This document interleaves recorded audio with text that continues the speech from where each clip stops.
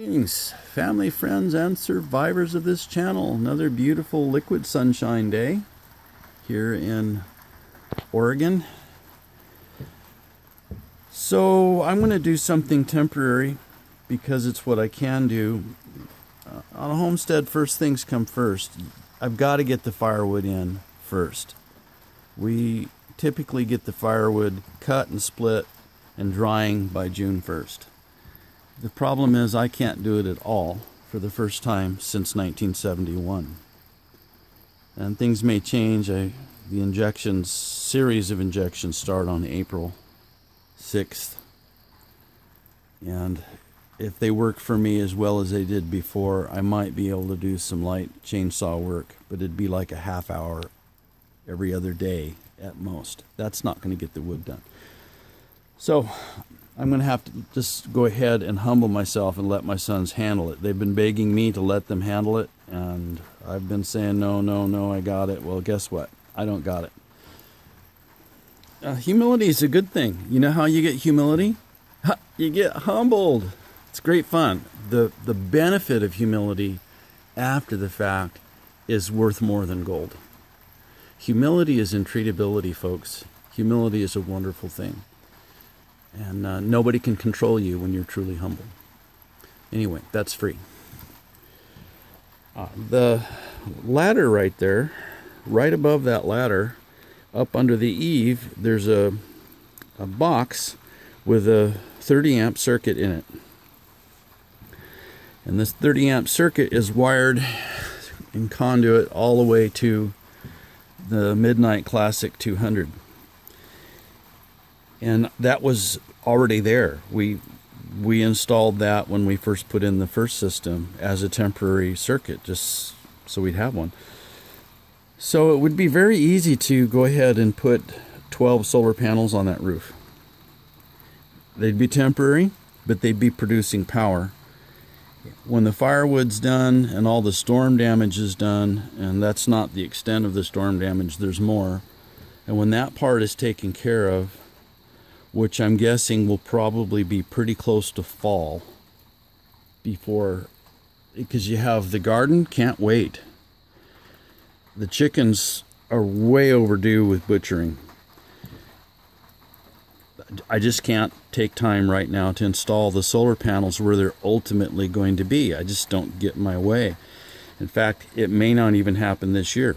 So that said I can get all the solar panels out of my guest bedroom and uh, mount them on the roof right here. And this is a good sunspot most of the year. Uh, it's actually in the sunlight even at the winter solstice from about 10:30 on. From 10:30 to 3:30 if weather permitting, it's actually in the sunlight. Now it's 5 degrees off from true south. That's not good. It needs to be 43 degrees, 43 and a half degree incline, and it's not. It's more like 25. So those things are make it uh, not as efficient, obviously, but light will be on the panels and they will be producing power. So I might as well get them stored right there doing something rather than cluttering up my guest bedroom. And it would be easy to do because it's already, all the wiring is already done. Just need to mount a um, combiner box on the roof. And there'll be uh, six panels per string in series of course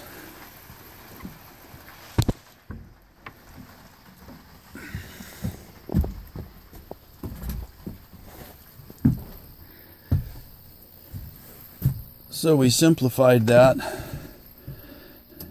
that's what this spare conduit was said future on it well it goes up to this 5s box comes over and down and right in here.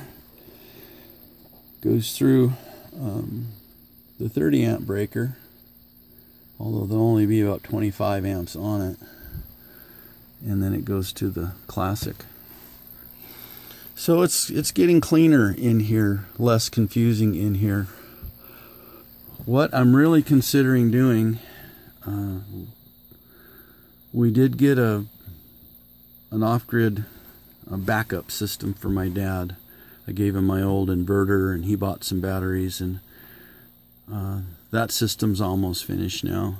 And uh, I have a spare TriStar, but it it was a pullout from a troubled system and I diagnosed the hydro system and I don't think it was the TriStar, but they had replaced it before I got there and gave it to me and so I'll have to test it. But I know this one's good and I was thinking about giving this one to dad and buying another Outback just the FlexMax 60 and having it run the 1400 watt array that's right over this roof and I would have to rewire those uh, into series and we'll see how that works I may have to go with the Midnight Classic. I'll have to look at the VMP voltage. And uh, you, you can do uh, 7 or 14 is divisible by 2, so I could have two strings of 7, but there's no other way to break that up. I can't have any other combination. It's either two strings of 7, take two panels away, add two panels, there's nothing else I can do. Or just go to a Midnight Classic 200 and then it would handle the voltage uh, because the volts are going to be up there pretty good if I have 7 in series. So, still thinking about that. That's another 600 plus dollars for one of these. That's a lot of money right now. Don't have to do anything right now. I have several spare charge controllers for the other system uh, and uh, grid tie inverter. So most of the time it'll be running grid tie anyway. It would just be in a you know a storm where the power goes out and if it's out for more than a day because you can charge the batteries with the generator up there. Uh, if it's more than a day, you'd switch the solar on. So that's what's going on around here. A lot of rain. And it could be one of those years where it's just going to do this on and off showery, see the sun for a minute and go away and come back and tease you a little bit and then start raining again. And I've seen it do that all the way to July. Quite often, all the way till June, always through the middle of May. And that's why Oregon's green, and that's okay. So summer's always a rush, and you're working harder than you should, trying to get everything done before the, the winter hits. And then by the time your first rain comes and the late summer, early fall, it settles the dust and you got a hankering to sit by the wood stove with a cup of tea. And then about this time of year, you start to get a little bit of cabin fever. And the sun will come out and tease you for three or four days and you're tempted to go out and get the garden started and start seeds. And about the time you do it'll sock in wet and cold and snow again the second week of April. Happens a lot. Anyway that's what we're doing. Hope everybody's doing well. Have a blessed day